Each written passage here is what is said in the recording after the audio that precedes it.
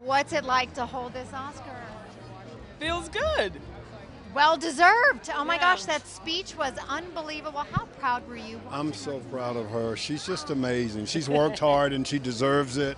And uh, it's just a beautiful A thing. 30 year career I've had uh, Yeah. professionally, so yeah, it's taken me beautiful places. Have you heard from Genesis tonight at all? Yes, I it? have. What did she say?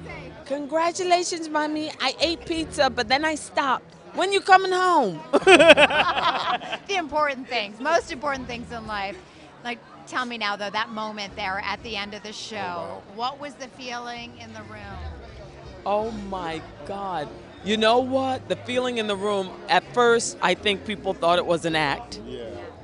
And then in the back of your brain, you thought to yourself, if this were in a movie, you would say, it's not believable. Acting is bad. Why would they even write this? And here you are just living it out. I mean, hmm? But in the end, do you feel like, I mean, it's like two incredible films and it was such a toss up the whole way. Absolutely. you know what? This is a story that all of them can tell their children generations from now. You know, this will be the story that gets passed down. Uh, that's what I think. That and the fact that you make history again tonight with this award. Congratulations, Thank Viola. Natalie. Well deserved. Thank you, Natalie. So good to see you guys.